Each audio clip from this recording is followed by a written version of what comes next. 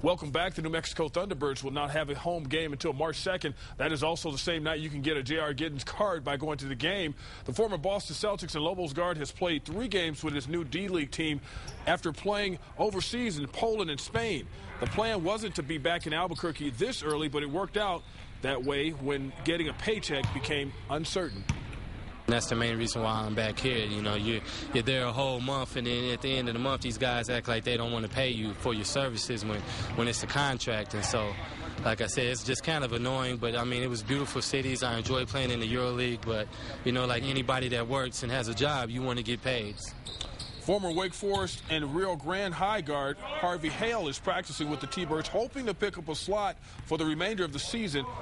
He is fully recovered from a cracked sternum injury five months ago. Man, it's one of the toughest things, you know, uh, I've been through, you know, and uh, it definitely humbled me. Um, it's, it's, it's, made me love the game once again. Um, it's, it's, it's made me work hard. Glad to see him back.